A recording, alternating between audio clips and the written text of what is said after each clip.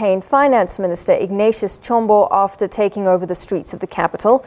The army says this is not a coup. It says it's targeting criminals around President Mugabe. Chombo was a leading member of the so-called G40 faction of the ruling ZANU-PF party, led by Mugabe's wife Grace. It had been vying to succeed the 93-year-old president. Meanwhile, the Zimbabwe Defense Force has called on citizens to remain calm. Army Major General Sibusiso Moyo says they will crack down on unruly elements. He issued a televised statement. Comrade R.G. Mugabe and his family are safe and sound, and their security is guaranteed.